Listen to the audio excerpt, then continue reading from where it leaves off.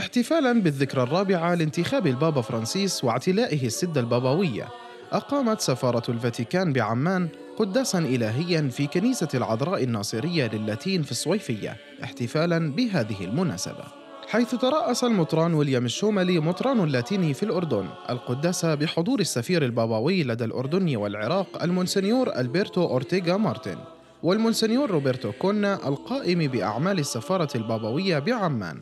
والمطران إلي حداد المدبر الرسولي لأبرشية بترا وفيلادلفيا للروم الملكيين الكاثوليك. والمطران مارون اللحام والمطران سليم الصايغ ولفيف من الآباء الكهنة من الكنيسة الكاثوليكية والكنائس الرسولية المختلفة ورهبان وراهبات من مختلف المؤسسات الرهبانية وعدد من السفراء وشخصيات رسمية وجموع من المؤمنين.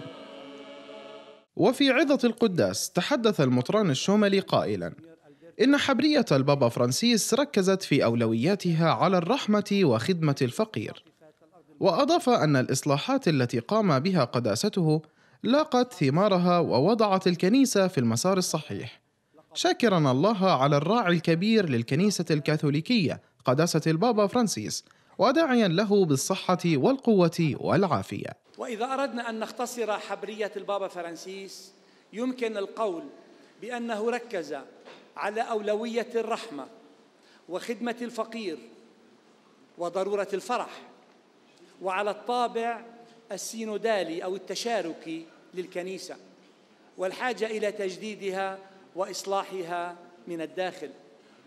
ونقدر أن نقول بأن إصلاحاته بدأت تثمر لأنها وضعت الكنيسة على المسار الصحيح. وفي ختام القداس الإلهي ألقى المونسنيور ألبرتو أورتيغا مارتن كلمة شكر فيها جميع المشاركين في الذبيحة الإلهية معبرا عن المشاعر التي يكنها البابا فرانسيس للأراضي المقدسة وبلدان الشرق الأوسط عامة كما أقيم أيضا حفل استقبال في قاعة الكنيسة قدم فيها الحاضرون التهاني لأصحاب السيادة الأساقفة بهذه المناسبة المباركة.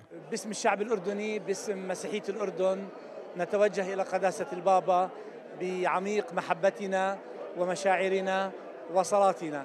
طالبين له عمرا مديدا وثمارا كثيرة في خدمته ورعايته لشعب الله. قداسة البابا كل سنة وأنت سالم. ربنا يعطيك الصحة يعطيك القوة حتى تستطيع أن تكمل رسالتك في العالم كله. كلياتنا من حبك وكلياتنا بنصلي من أجلك حتى أن رسالتك تثمر في العالم أجمع.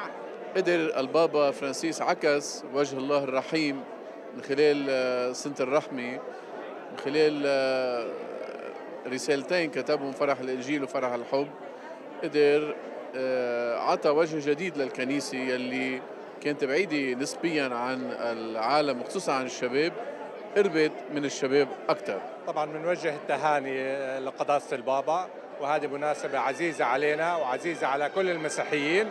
قداسة البابا اللي غير أسلوب الكنيسة بتواضعه بمنهجه الجديد أدى إلى تغيير كثير بالأمور أمور الكنسية. فبنتمنى له العمر المديد. آه، نبارك للكنيسة جميعنا خلف البابا وخلف الكنيسة ونبارك لهم باسمي وبالنيابة عن جميع الموجودين في هذا الوطن. نبارك لقداسة البابا أربع سنوات آه، على رأس الكنيسة الكاثوليكية.